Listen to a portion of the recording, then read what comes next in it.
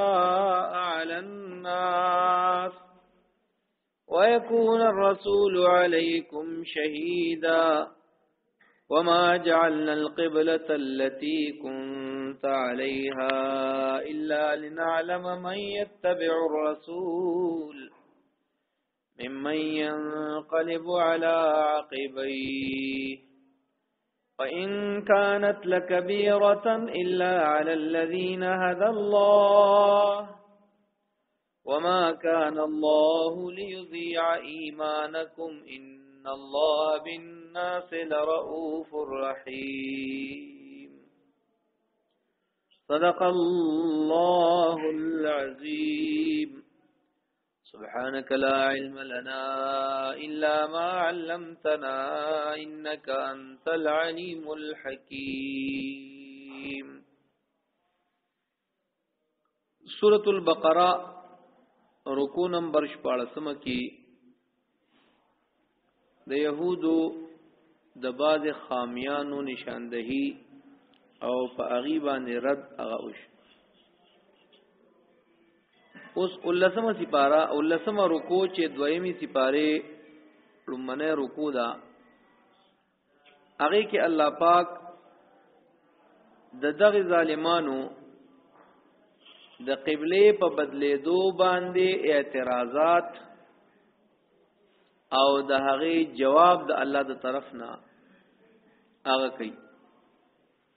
او پاغه کې په بعضی شقونو باندې د مسلمانانو ځان پویول پیغمبر پاک صلی الله علیه وسلم نا او داغه وضاحت د الله پاک د طرف نه کیدل نو الله فرمای سيقول السفهاء زرد چې وی ودا قمقلان دا بیوقوفه دا کم چې د ابراهیم علیه السلام د ملت نه اوړېدلی دي دغه مخنه رکو کېل تکي ویل چې من يرغب عن ملت ابراهيم الا من سفه نفسه ابراهيم عليه السلام د ملت نه وا ناوړي مگر آسوک به اوړي چا چې ځان به وقوف کړی وي نو دا يهود ځان ته به نسبت د ملت ابراهیمی کو بیا هم پاغي باندې نه چلیدل به وقوفانو نو چې د ابراهیم علیه السلام بنیادی قبله تا محمد علیه السلام ته حکم اوشن او پاغي به اعتراضات کول الله اذا بوقوف دی سيقول السفهاء ضرور چې وای بدا قمقلان دا بے وقوف خلق من الناس په انسانانو کې انسانانو کې چې دا کم ډیر بے وقوف دي اغي بدا سی وای چې ما ولاهم سشي واړول دي ایمان والو لرا عن قبلتهم د قبله د دوینا التي هغه قبله کانو علیها چې دوی په هغه باندې یعنی بیت المقدس ته خودي تر اوسه پورې دا شپاړه سلس میاشتې منځونه کول نو د دې بیت المقدس نه بیا څه شي واړول دوی الله پاک داغه جواب کوي قل تور توایا لله المشرق والمغرب خاص د الله لپاره دی مشرق او مغرب هغه چې کوم طرف ته ده اړول حکم کوي نو دا ایمان ولم هغه طرف ته اوړي یهدی من یشاء یهدی هدایت کوي من هغه چاته یشاء چې د الله خوخی او څوک یې اهل غني د هدایت اغي ته هدایت کوي الی صراط مستقیم لار نیغه او برابر ته د رشد او د هدایت لارې ته الله پاک هغه څوک رابلی څوک چې د الله خوښ وکذالک جعلناکم امه وسطا لتكونوا شهداء على الناس وكذلك ام دغرنګي چې دا ناشنا کار الله پاک او که پتا سو باندې چې قبله در باندې بدل کړه نو په دې طریقې سره جعلناکم ګرځول تاسو یې مونږه امتن وسطن امت غورا او تاسو د غوروالی نخی نخانی یهودو نصاراو سره د هغه په کتابونو کې موجود وي نو تاسو می غوره امت جوړ کړئ امت وسط وسط خو مینځ توي درمیان ته او مونږه په درمیان کې نه یو په آخر کې یو نو بیا څنګه الله پاک مونږ ته نسبت دا امت وسط کوي نو داغي وجه دا ده چې وسط چې دی نو دا غوري په نسبت سره جوانب او اطراف ته لکه فرض کا فصل وی نو داغي پلو طرف ته فصل کمزوري سارویم ته نه چکوي ماشومان هم ته نه پانی شو کوي او د پټی مینس چی نو هغه خ اعلی او خ خیرازه نو دا وسط تعبیر دی د غوروالینا نو مونږه الله پاک امت وسط جوړ کو یعنی غره امت جوړ کو لتكونو د پاره دی چې شی به تاسو شهدا گواہی کوونکی علی الناس په خلق باندې د قیامت پروز به تاسو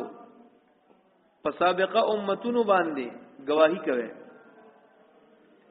ويكون الرسول او شبا رسول محمد صلی الله علیه وسلم علیکم شهیدن تاسو باندې گواہی کوونکې نو دا دي ته وی شهادت کبرا نبی کریم صلی الله علیه وسلم ارشاد فرمای چې ما ته پینځه صفات دا سره کړی شوی دي چې هغه سابقه انبیاو کې چاته نو ور کړی شوی نو من جمله دا غینا یو شفاعت کبراو چې اعطیت الشفاعه ما ته شفاعت را کړی شوی دي او یو دلته کې ذکر کیږي شهادت کبرا غټه گواهی دا دوا نبی کریم صلی الله علیه وسلم ته ورکړی شوی اعزازی ډیګری دی یو دا شفاعت مسله ده نو شفاعت با الله تعالی چې کله قیامت کی او دا ټول خلق راغون شي الله تعالی په خپل رعب او په جلال کی وي نو ډیره زمانہ با بس دقه ټول خلق پینډینګ ولاړ څوک بس خبره اتر نشي کولی باغی کې چې ډیره زمانو دي خلک به تنگ شي تنگ شي ادم علیه السلام ته براغون شي چې ته زمونږ نکي الله پاک ته وایي چې مونږ سره حساب کتاب شروع ادم علیه السلام ورته وایي وی الله پاک چې نن څومره غوسه دي دون نمخ کې چې ته غوسه شوی دی او نه به بیا غوسه شي او زمانه دا الله نافرمانی شوی د په جنت کې می هغه ممنوعون خړلې وا دا الله ته نشم وی تاسو نوح علی السلام د لړش هغه به مرتضی غسی وی او ته ما د ټول مخلوق د غرقېدو سوال دنیا کې کړو مال حیا راځي الله ته سفارش نشم کول هغه به ابراهيم عليه السلام ته ريفر کی دا ټول خلک هغه به منکارو کی هغه موسی عليه السلام ته هغه به منکارو کی هغه عيسى عليه السلام ته هغه به منکارو کی او هغه ورته محمد عليه السلام لرشي نبی کریم صلی الله فرمایي ټول خلق ما تراغون شي چې ته الله ته سفارش وکړي چې حساب کتاب شروع شي نو زه الله پاک ته په سجده پریوزم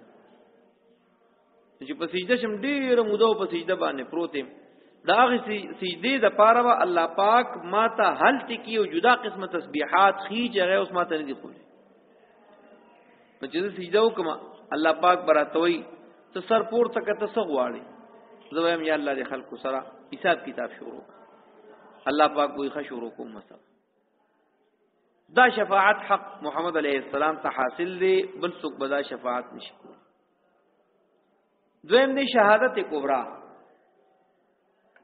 الله تعالی با سابقه امتونو ته کافرانو نه تپوس وکي تاسو ولې زما دین نه منه په مام ایمان نه راوړ هغه وای الله مون ته خوشانو علم نو خبر الله تعالی به انبیای کرام داغي حاضر کی تاسو چې ما ویلو چې دې ته زما د یووالي پرچارو کې دین پرچارو کې تاسو ته نو کړی الله مو خو ته کړو دی منل نو بیا با الله پاک داغی نه تاسو کې چې دی خو موږ ته دعوت ورکړو دی منل نو نو اغیبا د دې په خبره باندې رد وکي وي ودی دروغ وي د انبیای کرام دروغ وي نو الله پاک په انبیانو ته پوسو کې چې دی خو چې دی درو کوي وی بنا الله مونږ ته دعوت رسول دی مونږ سره گواهان شته دي څوک دی گواهان نه سره گواهان د محمد علیه الصلاه والسلام امت دی چې هغه به زین گواہی کوي چې مونږه استاد دین پرچار او استاد یووالی دعوت دی تر رسول الله پاک به زمونږ نه تپوسو کی مونږ ته ټول وایو او الله د ټول انبیای کرامو په خپل خپل وخت باندې د خپل خپل امتونو ته ستا دعوت رسول دي الله پاک واغی ته وی اغه سره خدای دی ګوانم شته هغه وای یا الله دین دروغ وای غوا د پاره خو د موقع حاضری ضروری ده او دی خو زمونږ نړۍ رستو راغلی دي دی ته څه پته ده چې مونږ ته دعوت را رسیدلې نو الله پاک و زمونږ نه تپوسو کی چې تاسو په کوم بنیاد باندې دا گواہی کوي چې د سابقه امتونو ته دعوت رسیدلې مونږ وته یا الله مونږ خپل پیغمبر محمد صلی الله علیه وسلم ویلی دي چې سابقه انبیا او خپل خپل امتونو ته دعوت رسولې مونږ په بنیاد باندې دا گواہی کوو نو الله پاک با محمد علیه الصلاۃ والسلام حاضر کی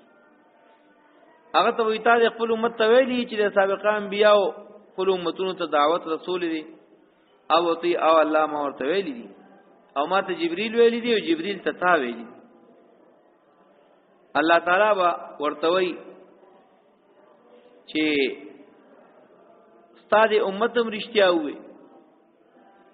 تام رښتیا وي جبريل هم رښتیا ویل دي او زم رښتیا وایم چې دغه انبیا او دي ته دعوت رسول دی بدبختانو نه منلې خدا خو هغه عدالتي کار روایي و چې کوله مې نو زمون په گواهه باندې نه او دا غې نه پس په نبی کریم صلی الله علیه وسلم په گواهه باندې به فیصله شي هغه خلکو باندې با ډیګری د عذاب اوخیږي جهنم تبا ور پارسل کړی شي دې ته وی شهادت کبرا زه په دې قران کې دو سلور ځایا د دې تذکرہ چرته لګه تفصیل سره چرته اجمال سره داشتي بیا ورته دا قصه پورانه کوم صرف اشاره ورته کوم چې دا قصه دتا یاد چې شهادت کبرا ستوي او شفاعت کبرا ستوي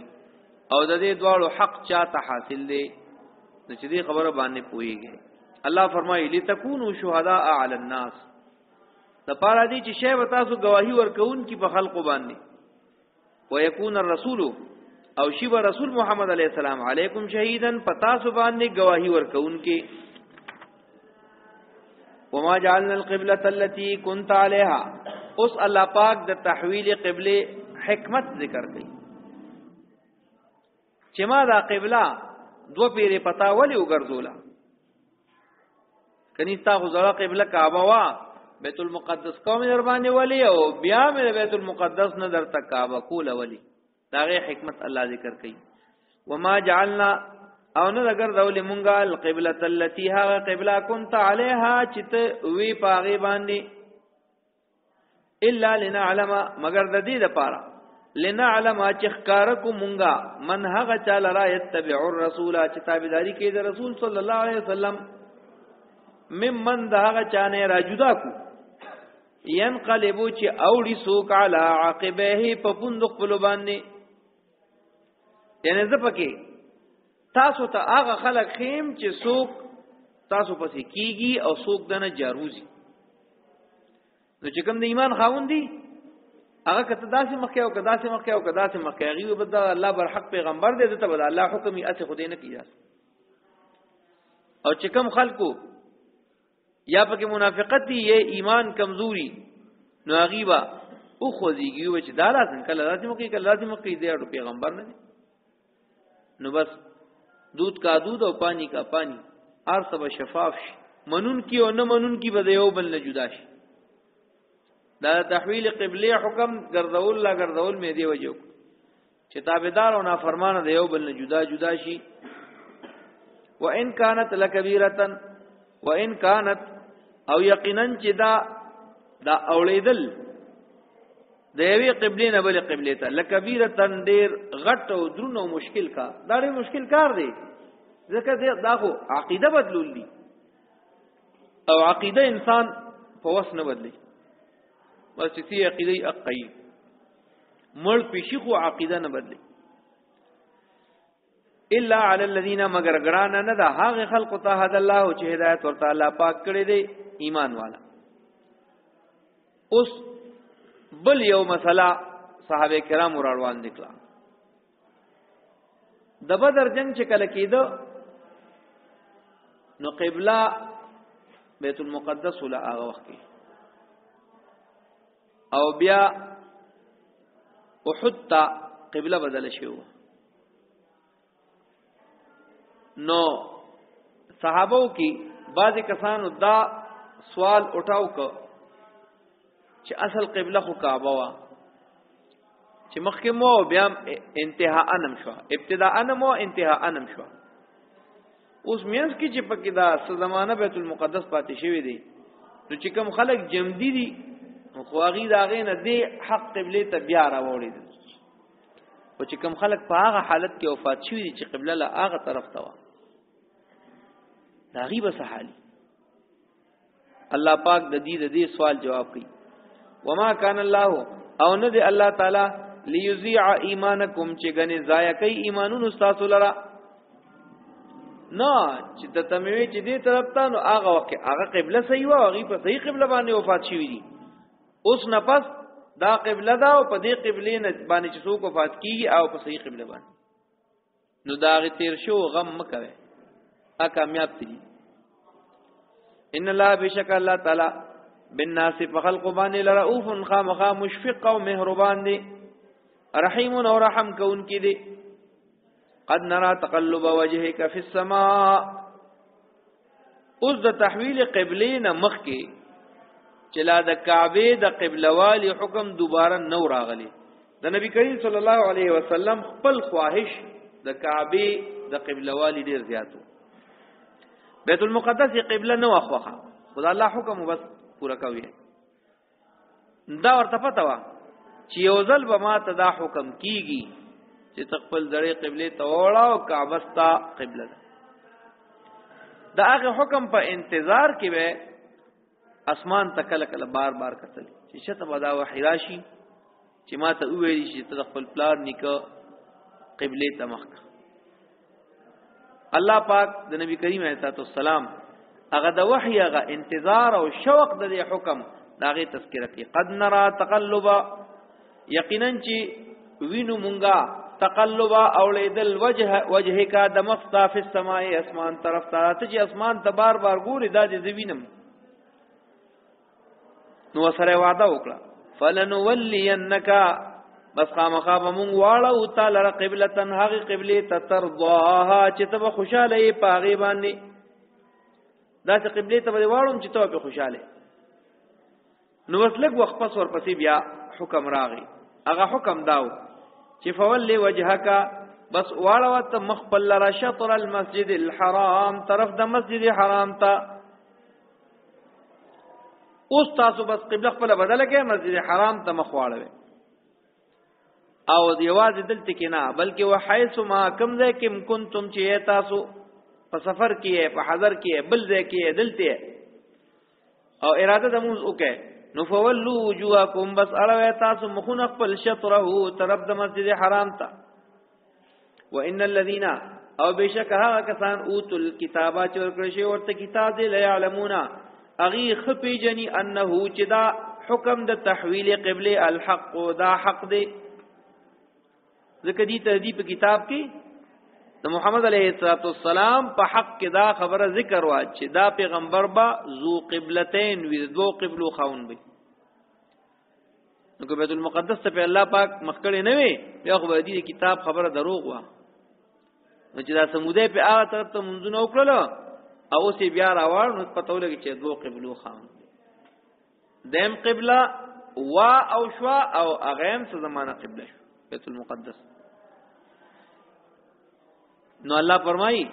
دی اهلی کتاب ته دې خبره حق لکه پتا و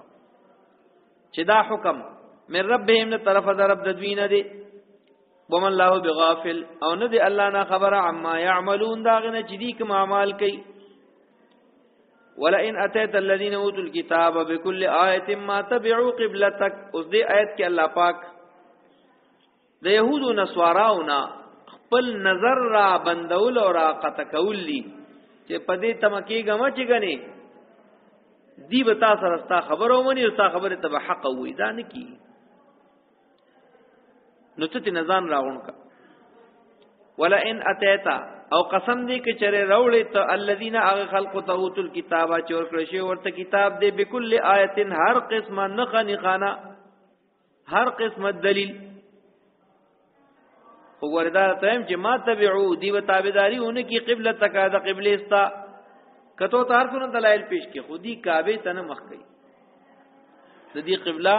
دی بیت المقدس کړي او دا یې لا سکه د يهودو او د نسواراو اجتماعي تور قبله خو بیت المقدس دا خو په بیت المقدس کې دنه دي د یو بل قبله نه خلاف دي بیا ځکه بیت المقدس کې خو لکه د کعبه غونته کې یو کوټه نشته چې دا هغه بس قبله شو دا غي نتاویږي خلک بیت المقدس ځان له لوی جمعه ته مسجد دی نو په هغه کې دنه د دې قبله هغه یو بل تر اختلاف دی نصارا وای بیت المقدس کی قبله نرخاته طرف ته ده هغه قبله تموز جایز نه غني په بیت المقدس کې دنه يهود وای چې زمون قبله په بیت المقدس کې دنه مغرب طرف ته ده مشرق ته اغي جایز نه ګڼي د بهر نه هټول بیت المقدس ته مخ کوي او چې کله بیت المقدس ته دنه ونه نوځي نو بیا تقسیم شي نو نصارا او داسې مخ کړي يهود داسې مخ کړي یو بل ته شاکړي مون د کعبه نه چار چا پیره هر طرف ته موس کو خو یو بل ته شاکو نه مون یو بل ته مخې د ټولو کعبه نه کې چا پیره ډالو کنه یو بل ته مخې د دوی یو بل ته شای چې کوم نصارا دي هغه داسې مرخاته ته مخ کړي چې کوم يهود دي هغه داسې قبله ته مخ کړي چې د مونږ وخی شي په یو مونږ کې یو فرقه داسې مخ کړي بل داسې یو بل ته شا کړي نو تبه ته صد خیر تمو کې چې ګنې دی بستا قبله ومني دی خپل منځ کې هغه خپل مشترکه قبله یو بل سره دنه مشترکه نه مني یو بل طرف کې اختلاف کوي او د یو بل طرف ته یې سره مونږ نه کیږي يهود وی دي طرف ته مونږ نه کیږي نور خاطر ته نصارا وی دي مغرب طرف ته بیت المقدس کې نه مونږ نه کیږي بهر نه خو بس بیت المقدس لوی مسجد دی بس هغه ته مخ کوي نو الله فرمایي وما انت بتابع او نه ته تابعداري کوونکی قبلتهم د قبله د دوی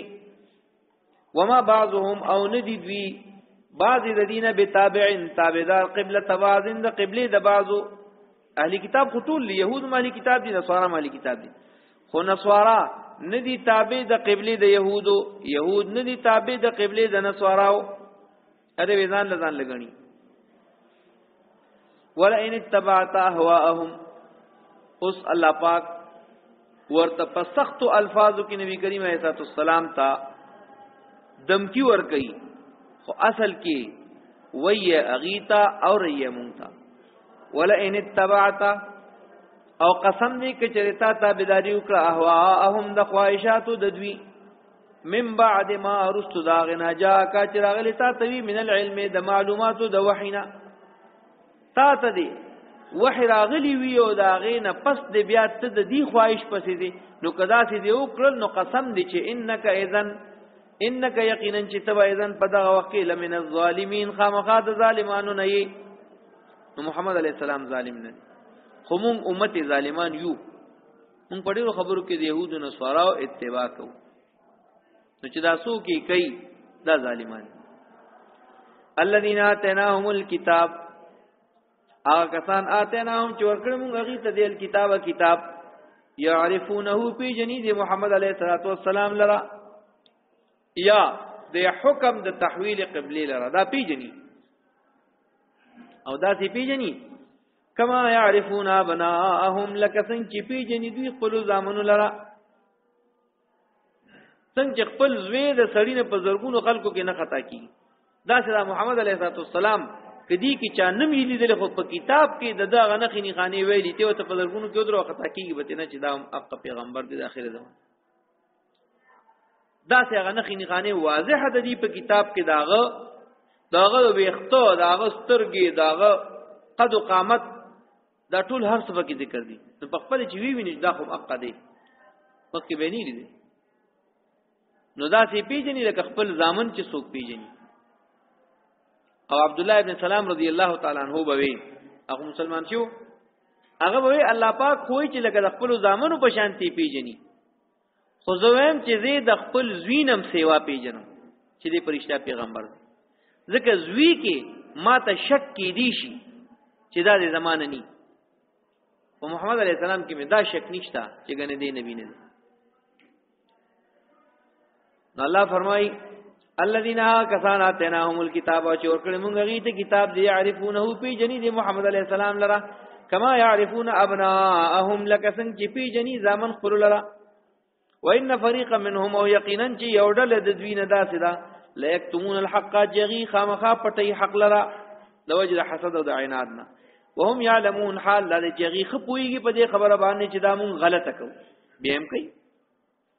الحق من ربک حق بیان هغه وی چې طرفه درفستانه وی کوم نو فلا تکونن من الممترین بس مکی گت د شک کوونکو نه نبی کریم اسلام شک نه کوي مونږ ته الله اوري تاسو کوی شکیان نشه ولکل وجهه ولکل او د هر یو دین والا د پارا وجهه ځان له طرف د مخ کولو دی ځان له قبله ده هو چې هغه دین والا مولیها او لیدون کی وی هغه جهت ته نو تاسو د ایمان خوندان چې کم یې تاسو اختلاف کو نه کې تاسو ګور یو قبله چې هغه کعبه ده نو فاستبقوا تاسو وړاندې والي کوي الخيرات د نیکه په کارونو کې اينما تکونو چرته کیم چې تاسو یاتی بكم راغون به کی تاسو لرا الله والله تعالی جميعا ټول قیامت پروز به الله تاسو غون پيو دې دې زمکه نه را پاسې دوست دشمن ټول کافر مسلمان ټول ان الله بشک الله تعالی علی کل شیء قدیر پر یوسیز باندې قدرت لرون کې دي ومن حيث خرجت او د کوم ځای نه چې وتلی یت یعنی سفر دې کړی وی او تلی بل خوا ام چې التی کی مونږ کې نو کعبه ته مخ کوا فول وجهک بس اړه مخ په لره شطر المسجد الحرام طرف د مسجد حرام ته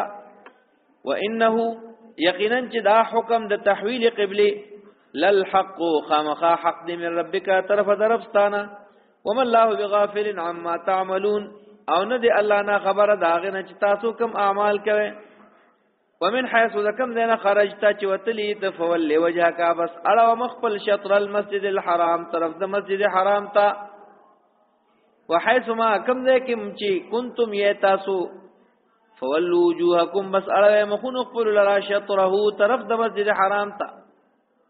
لالا یکون للناس د پاره دی چې پاتې نشي د خلقو د پاره علیکم پتا سو باندې حجت سدلیل د ملامتیا بار بار د تذکرین سو پیری دا حکم ذکر شیدا دی دې لپاره چې د چا در باندې ګون ته سور نشي چې دا غن تاسو په خپل ته نه دا ته ما ویل دي زما په حکم تاسو اوړه را اوړه یو خاون خان نو چې د خلکو خلی نه بندي شي لالا یکون لپاره دې چې پاتې نشي د ناس خلکو لپاره علیکم پتا سو باندې حجت دلیل د ملامتیا استاسو ها کدی نه پسم سو کوئی اخو ظالمان دي ظالم خلکو نه بندي او جهنم په اور بندي الا الذين ما سوا دا خلقنا ظلمو چې ظلم یې کړی منهم د دوینا نو دا غي خلې نه باندې لګیا وي وسره بزګور مرستو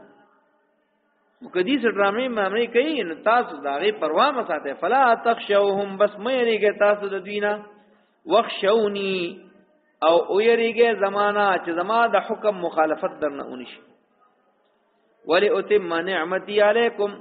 او د پاره دې چې تام کوم ز نعمت خپل علیکم پتا سبحانه ولعلکم تهتدون او د پاره دی چې تاسو هدایت بیا مومه پنی غلار روان شئ د ابراهیم علی السلام قبله ته مخ کې کما ارسلنا فیکم لکه څنګه چې موږ را لګلې په تاسو کې دی رسولا هغه پیغمبر منکم چې د جنس تاسو نه دی څنګه تاسو عربی ادا ته هغه عرب دی یتلو علیکم او غللی تاسو ته آیاتنا آیاتنا زمونږه ويزکیکم او پاکی تاسو لرا ويعلمکم الكتاب او تعلیم درکې تاسو د کتاب او حکمت او د سنت خپلو ويعلمکم او تعلیم درکې تاسو ته ما دا خبرو لم تکونو تعلمون چې نو تاسو چې په پوي ده ډیر خبرو باندې تاسو نه پوي ده هغه ته دا غي تعلیم درکې پوي کړې په باندې فذكروني نو اوس خلاصه د دې ټول خبرو دا شو که قبله داسې ده او که داسې ده مقصد یې چې کوم دی نو زما حکم منل او زما یادول دي نو ما یادوي چې زه تاسو یاد فذكروني بس تاسو ذکر زما کوي اذکرکم زبیات کم تاسو لا تاسو ما یاد کې زما په ثنا او په تعریفونو په صفاتونو سره زب تاسو یاد کم داغه په ثوابونو په عوضونو سره تاسو زما ذکر کړئ زب اجرونو بدلی در کوم دل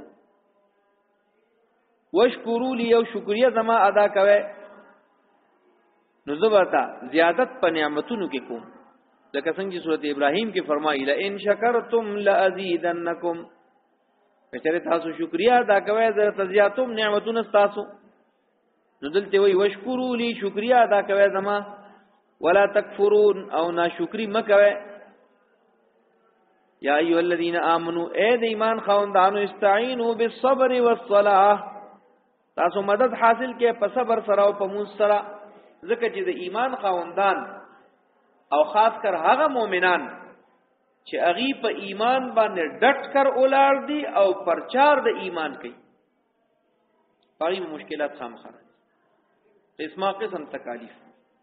لکه څنګه چې قران کې ځای په ځای واقعات راځي د اصحاب الاخدود شل زره کسان په دې خبره باندې چې هغه الله ته یو ویلو او د زماني بادشاه هغه شرک ته جوړول هغه واپس مشرکان کېدل نه ورته وګرځول خود ایمان نجار نه وتل ابراهيم عليه السلام ورته په سبانه وګرځول شو د ایمان پرچار پک فرعون د خپل زمانه جادوګرانو ته چې د موسی عليه السلام د معجزې په مقابله کې فیل شو او هغه ایمان راوړو فرعون وتویل اقطعن ايديكم وارجلكم من خلاف وی قسم دی چې زبد الله صفې پرې کوم خلاص د صفه عدل بدل ولا اصلبنکم فی جذوع النخل او د کجورو پتنو کې بمبره پانسی کوم ګناه یې سوا ایمان یې راو ایمان والا باندې مشکلات راځي نو مشکلات او علاج پس شي کې دي په صبر او په مسکه څومره چې په ایمان والا باندې تکالیف راځي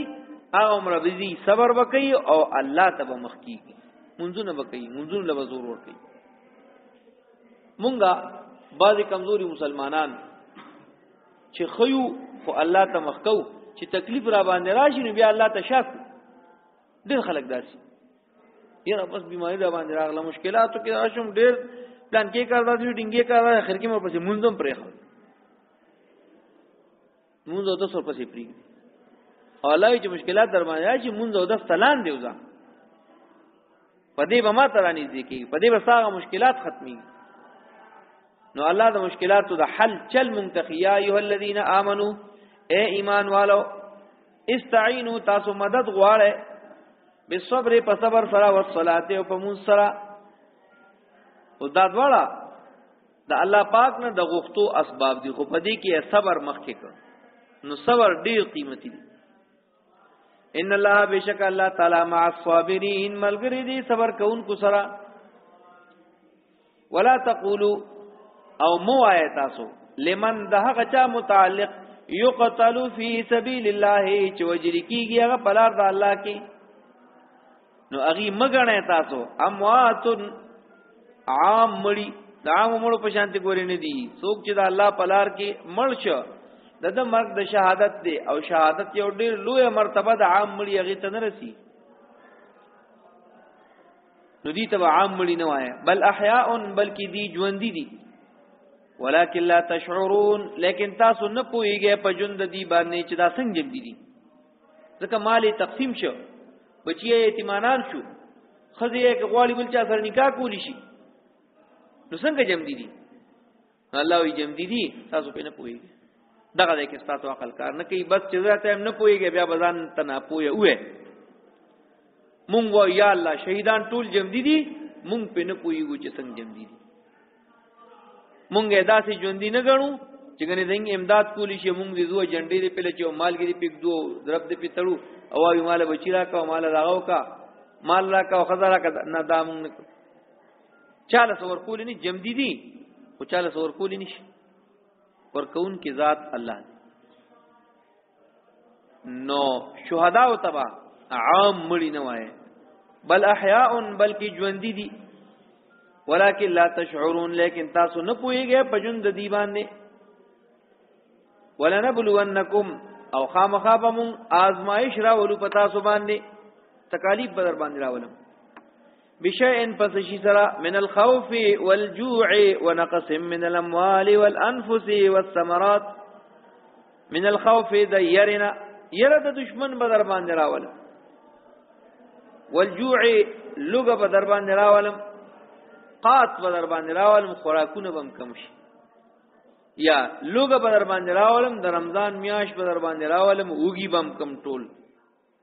چې د لوګي احساس درته وشي د فقیرانو قدر د سره پیدا شي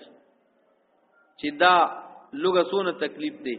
او دا په دې عام خلکو فقیرانو باندې دا ټول کال تیریږي ما باندې دا یو میاشتي بیا باغ خلکو سره امدادونه کوي ونقسم من الاموال او او باز ما يم تاسو لرا پس شي سره دا کمی د مالونو مال بدل کم کو ساروی دي هغه کې به ټوغه کې راولم پاره کې بمري چرګانو په فارم باندې وای ټوغه کې راشي په یو ځای کې په شلګونو شلګونو په سونو سونو مري ګاډي دي دي هغه به اکسیډنټونه وکي چې ته باندې ته پریوتیو چې ته به جنگي دی چې دا تکلیفونه بدر باندې مال راولم نو مالونه بدل کم کم والثمرات والانفس نفسونه بدل کې کم کم مړی وکیږي دې ځکه دماکه شوی پکې 200 مړ هغه دې کې شوی پکې 1500 مړ هغه دې کې زلزلہ راغلی پکې 15 لک په یو وخت باندې مړ هغه دې کې اوبر راغلی هغه په زرګونو باندې وړي عمر کړی دا دا امتحان ور باندې راولي د نفسونو کمی والثمرات او د میوجاتو کمی به در باندې راولم نو د ابو قات به در باندې راولم سوکړه فصلونه با زمکه بم فصلونه ونی کی باغونه به میوي ونکي او د ثمرات نه مراد یو بل ثمرم ده ماشومان دې تم ثمرات ویل شي لکه حدیث مبارک کې راځي چې د چا ماشوم وفات شي او د روح الله ته وړي شي نو الله پاک دا غي ملائکو نه تپوس کوي وې تاسو چې زما د بندا د زړه د میوه رو شو کولن دا غس کیفیت نو اولاد ته د زړه میوه ویل شوی دا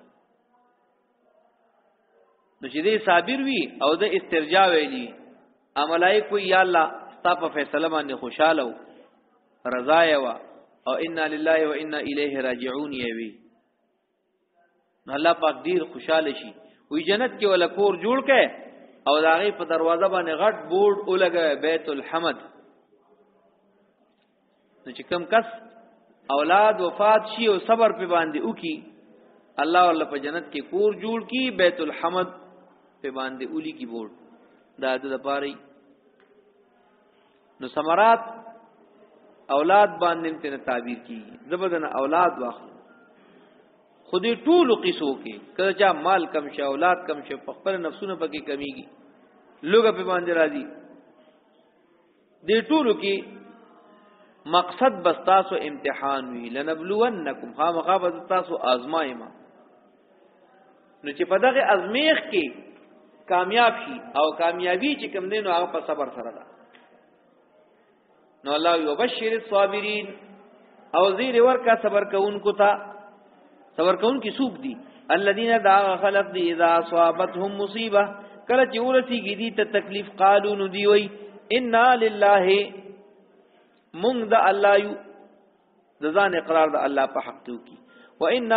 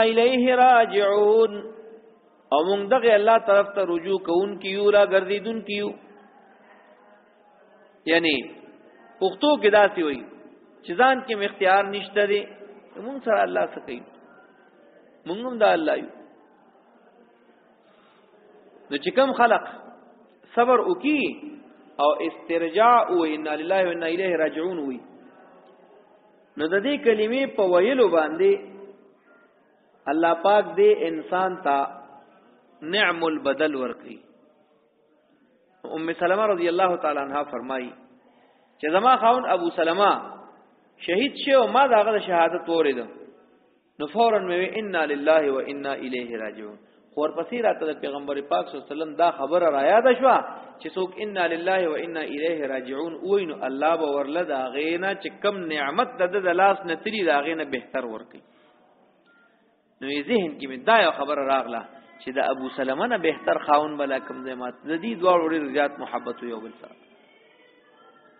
ام سلمه او ابو سلمه دا دواړه خزه خاون ډېر بیکچه په یو بل باندې مینو او چې ابو سلمه کله هجرت وکړ نو د ام سلمې پلار کور ته نه هغه پاتې کړه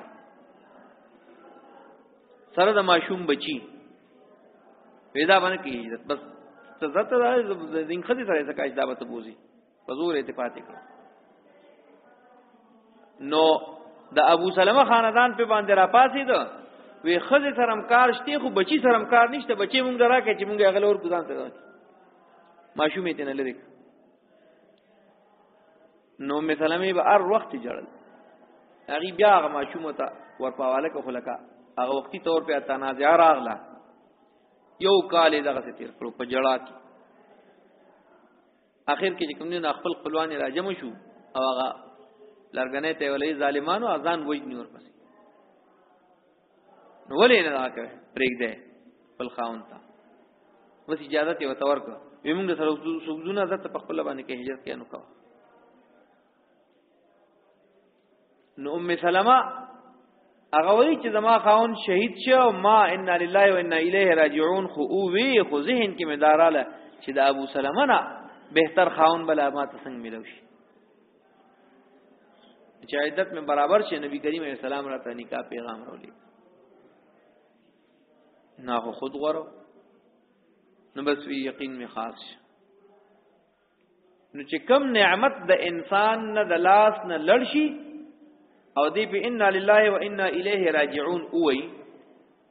نو دا نعمت دو قسم دی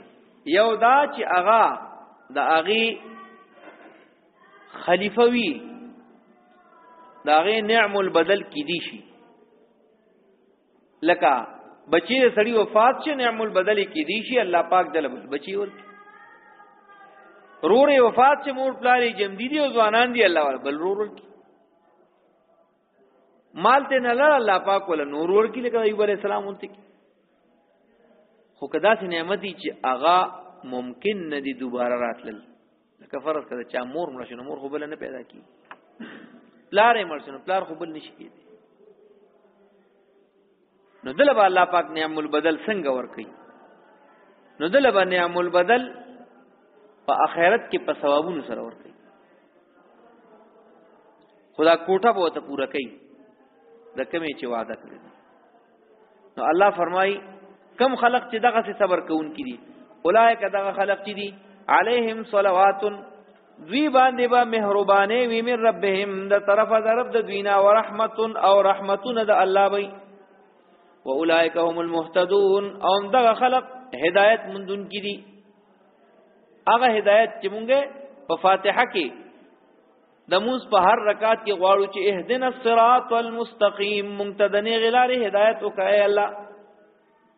هغه په مصیبت باندې په صبر کولو کې الله وی زور کوم ان الصفا والمروه من شعائر الله اوس الله پاک بل یو حکم ذکر کړي د صفا مروه متعلقه صفا او مروه دا دو ډیره کې دي د کعبه نه مشرق طرف ته نو چې کعبه ته د بندا شاشي او مشرق ته مخ شي نو خي طرف ته صفا ده او ګس طرف ته مروه ډیره صفا ډیره کعبه ته څه قدر نږدې ده مروه لګه فاصله کې د جاهلیت په زمانه کې په صفا او په مروه باندې غټ غټ بوتان نسب شوی مشرکانو لچکلو مشرانو صفا باندې بوتو هغه ته وی اساف هغه د مذکر شکل جوړ کړو د نارینه شکل د غټه نه مروا باندې بوتو هغه ته وی نائلا هغه د خزي شکل او نور د الله تو منات او عزا دا د غټو غټو قبایلو ځان لغټ غټ بوتانو او د سیواړو بوتان کعبه کې او د کعبه د پاسه دغه حرم شریف کې 360 بوتانو چې دا غي بخل کو عبادت کو غي نه به غوښتنې کول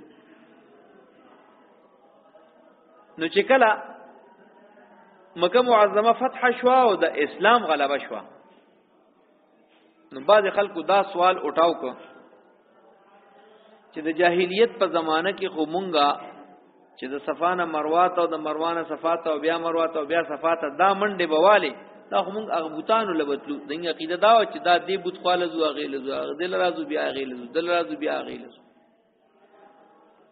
نو اوس خو دا ګناي بوتانو ختم شو کنه هم واقعدا او خدا وا دا هم د بوتانو پر دا سعی کو اوس کوم دا سعی کو دا خو به ګناي الله پاک د دې د دغه خیال ازاله وکړه دا خیال ولا ختم کړ چې نه صفا مروه په کولو کې ګناه نشته دا خو تاسو د حضرت هاجری هغه فعل تازه کوي چې هغه بر صفانه مروه ته منډه کړه او مروانه به صفا ته منډه کړه اسماعیل السلام د کعبه سره دغه ځای نږدې اچولیو کعبه خو نو صرف چټیل میدان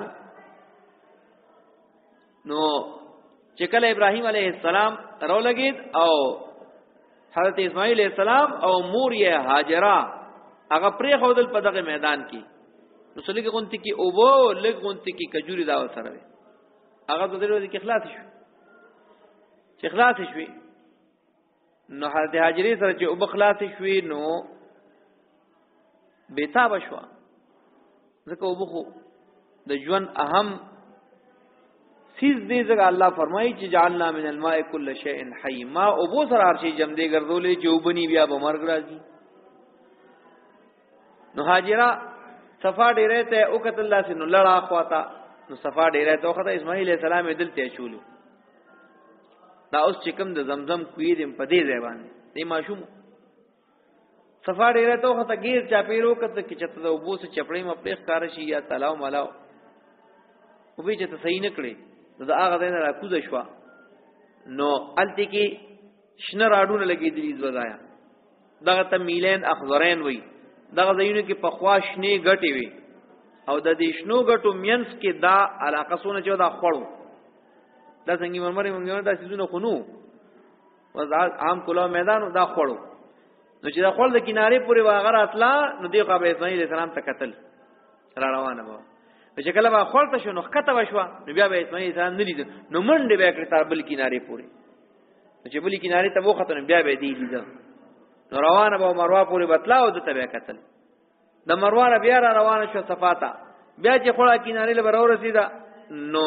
دې ترغی لید چې به خړ کیناره کې ورکوزه شو نو دې بیا نری نو منډه بیا کړی تر بلی کیناره پوری بیا به چې کیناره ته وختنو بیا و صفا پوری په قلارت لا نو دا و پیری تګ را تګ هغه کړی دی شروع یې صفا نه کړی وا او خط ختمېدلې په مروه باندې ووم ځل باندې چې مروه تکله ورسیدا او په ډیره باندې بروخه ته غیر چا پیرو قتل چې دی خو اسماعیل انسان تو قتل دلته تکول پون دیواله ده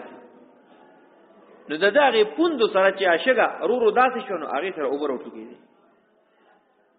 چې اوبر وټو کیږي نو اوبه دا کیږي یو طرف ته روخ کو روانې دي نو د هغه ځای نه حضرت هاجری دی او بوته چې کوي زم زم زم زم په هغه جبه کې دا معنا و چې ودرېګا ودرېګا نو هغه وبو اون به دی ودرې دی په ځای باندې او دا چراغ لا هغه ځای کې لګځي چپلې کې داسي شګمګه رويست نو هغه دندو کې جوړ شه د تازه مزیدار وبو د زمزم د وبو بس هغه باندې چې کوم نه نو د دې گزاران روان شي بیا سروځي پس هغه وو خواله به کوم دینو مرغیم راتلې وو به تسکلې حیوانات هم راتلې تسکل به نو په دغه طرف باندې د یمن نه لار وا نو یمن نه یو قبیله راتلا بنو جرهم اغي سفر کو چې دغه تل کې مرغه مرغه ولې دي نو پوښو چیرې چته کې وبشتي جوړ اخلک تجربه کارو په دې سيزونو کې نو الته کې چې معلوم کاغه ده کې هغه دغه چینوا او بو باندې راوتی نو د اسماعیل علیه السلام بیا لویو چې دا چلو شو نو بیا غینه اجازه واغشته نو دی خو مې چې مونږ ته دلته سو کوسیږي نو بخای تکه یوازې اجازه ته وتو کداغه بنو جرهم وسره آباد شو نو دا قدیم عرب دی بنو جرهم اوس چې د یمنیانو او سعودیانو اکثر جګړې په دې خبره باندې چې بنیادی خلک او یمنیانو یې مونږو دا قبیله د یمن وا نو داغي ډېر لوی خلف شاری په دغه باندې قصه را دې پورې وا چې صفا مروا کې حضرت هاجره منډه والي داغه دغه فعل د الله پاک ډېر خوښ شو هغه په حجانو په عمره کوونکو باندې لازم کړی دی او تر قیامت پورې به دا فعل جاری وي لہذا د دغه متعلق دا خیال کول چې دا خو به موږ د بوتانو لپاره تک را تک کو اوس بګنی ګنای الله پاک وینه ګنا نه ده ان الصفا والمروه دا صفا او مروه چې دي من شعائر الله دا نخي د دین د الله پاک دي شعائر د شعیرتون جمع شعیره وي نخي تا دا د الله د دین نخي دي او بعضی چیزونه دا سی چې هغه یی خو سنت خو د فرایض غونته کې اهم وي ځکه په هغه باندې د دین قوام وي او د دین شناخت وي په هغه باندې د کمین جمله دا غینه اذان دی اذان هم د شاعر الله نه دی اذان دی سنت او چې کوم ځای کې اذان کیږي نو د اذان د اواز چې څومره پورې لګي خلکو ته پته لګي دلته مسلمانان شته دا د اسلام او د دین نه خلا دیو جنا وای کوم علاقه ولا په دې خبره اتفاق وکړي چې اذان باندې کو د دې خلاف به jihad کولی شي دا شعائر الله دي دغه رنګ صفا مروه دا شعائر الله نه دي فمن حج البيت بس هغه څوک چې هغه حج د بیت الله شریف کوي او اعتمرا یا عمره کوي نو فلا جناح عليه هیڅ ګنا نشته د پدبانې اي يطوف بهما چې طواف کوي د دې دواړو یعنی سعي ومن تطوع خيرا او هغه څوک چې هغه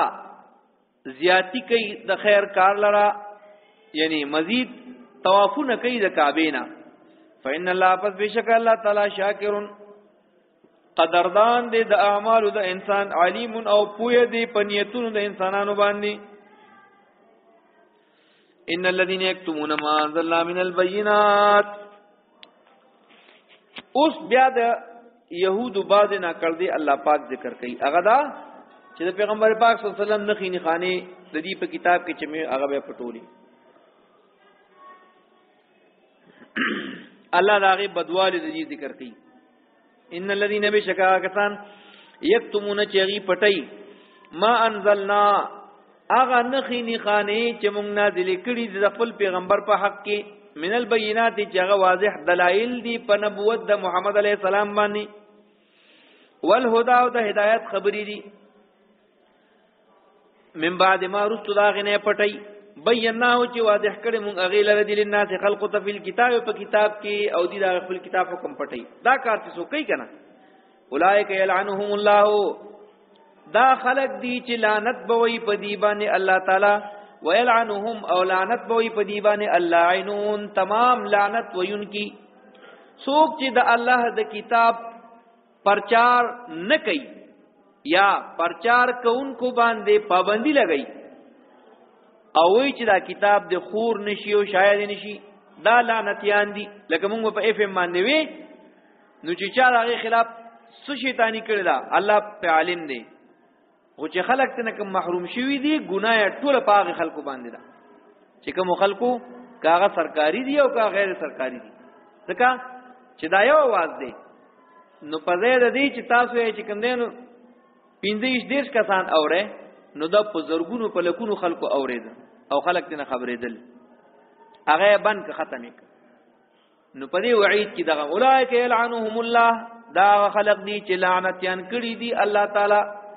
کداغه پولیس والا دي که فوج والا دي که عدالت والا دي دا ټول لعنت یان دي ځکه دا الله کتابي بن کداغه هغه आवाज یې بن ک خلکو ته رسیدل الا الذين تابوا ما سوا دا خلقونه چې توبه وستا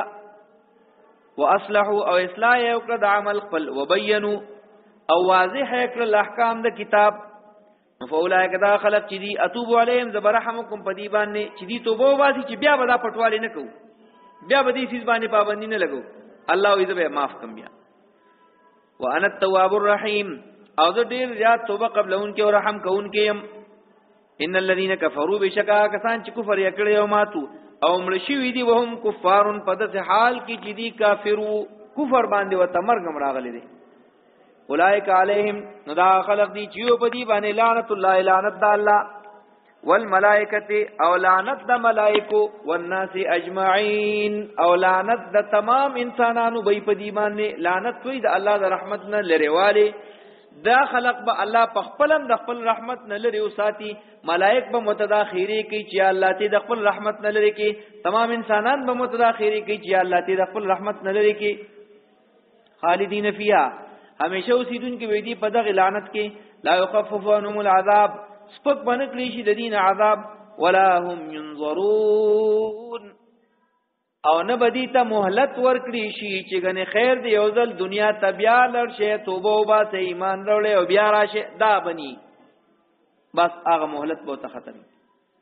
لا يخففو سپک بنکړي چې انهم د دینه العذاب عذاب د الله ولا هم ينظرون او نه بدی ته مهلت ورکړي شي نه بوته انتظار وکړي شي